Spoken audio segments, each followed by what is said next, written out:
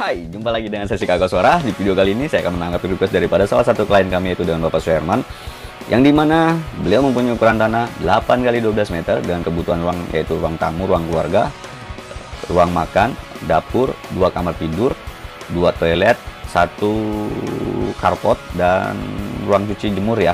Seperti biasa, dapat itu menjelaskan mengenai dana arsitekturnya dan tiga dimensi animasi arsitektur interiornya ya.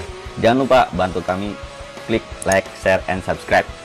Agar kami lebih, lebih termotivasi lagi untuk membangun channel ini dengan baik dan menjawab semua request-request para subscriber yang masih banyak sekali belum ditanggapi.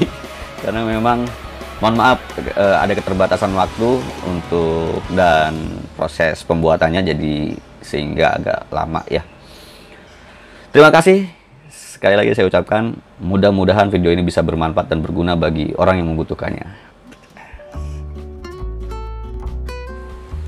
Selanjutnya kita bisa membahas mengenai denahnya. Ini adalah denah yang sesuai dengan kebutuhan si pemilik. Kita mulai dari bagian depan ini untuk posisi carport.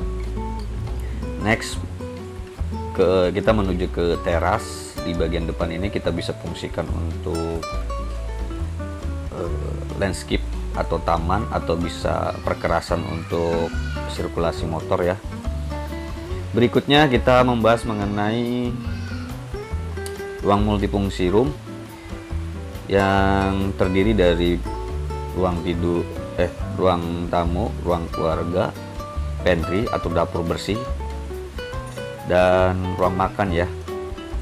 Jadi kita gabung menjadi satu agar menjadi terkesan lebih luas juga tanpa penyekat.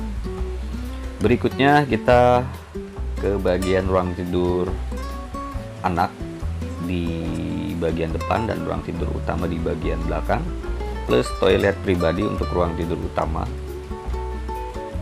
Dan ruang e, toilet untuk umum ya.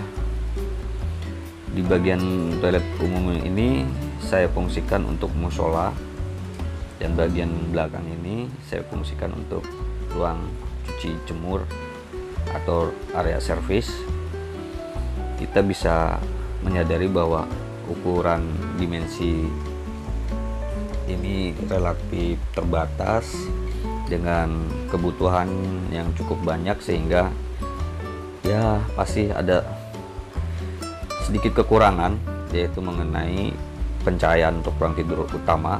Tapi kita bisa mengakalinya di bagian atas ruang tidur utamanya kita bisa menggunakan skylight ya. Karena area area di area belakang ini kita masih ada spare untuk penggunaan dak betonnya.